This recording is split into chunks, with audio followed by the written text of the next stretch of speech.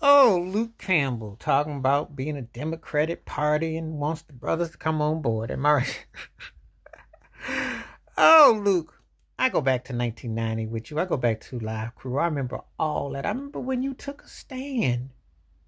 They were locking you up because your records were considered obscene. The, the stickers and everything and, and all the stuff that happened with you and the Two Live Crew and originally you were Luke Skywalker and you lost the rights to that name and everything and you had to fight the government. You really was getting arrested in record stores and all the craziness that happened.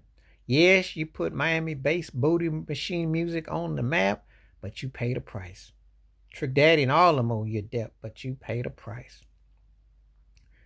Luke Campbell, you're just as important to the Miami music scene as KC and the Sunshine Band and Gloria Estefan, the Miami Sound Machine. Y'all have a place on that Mount Rushmore, but at the same time, yours took a hit. And then, for all the freaky tales and all the stuff you've done, you done somehow become politician. You know, somehow trying to say, come on to this Democratic thing, come on. And you want to be considered deep and profound. You're kind of like, I'll say this you're a precursor to Snoop, but you what we call the Junior Whopper Snoop. You're the Uncle Snoop that Snoop lived out everything that they didn't quite give you the light. You ever notice that somebody that came before somebody, but someone that comes after gets all the hype of what that person was, his nephew? And that's kind of how I look at Snoop and Luke. Because Luke, if you think about it, could have very well been one of the faces of hip hop. And he wasn't. And he took on everything now, let's just address this real quick. Another one, just like I did with Magic Johnson. Talk about reparations, brother. Stop all this. You should be a Democrat or you should be, be Republican. No, no. Those parties don't belong to us. Never have, never will. We're the ball that has the racket that hits us between both sides. But we get caught up in the net for which side? You see. And I'm going to quote Tavis Smiley again, what he said on Vlad, because I'm going to use the Tavis Smiley quote. We've always been the ones to the rescue to save.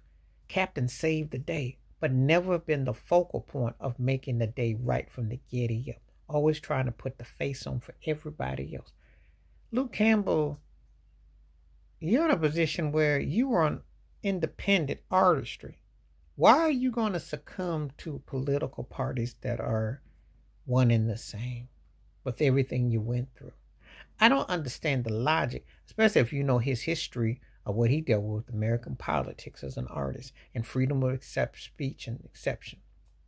But then again, he might say Democrat, but his background ain't that far removed from Clarence Thomas and Long Dong Silver. But anyway, just going to say that you know, it's interesting how people want to get political sides about this or that, but never want to talk about the big picture with black folks concerned. When I say reparations, when I say a betterness of against police brutality, and in the state that he's from, of Florida, with DeSantis and Trump and all them there, you need to be talking like Marcus Garvey, yo.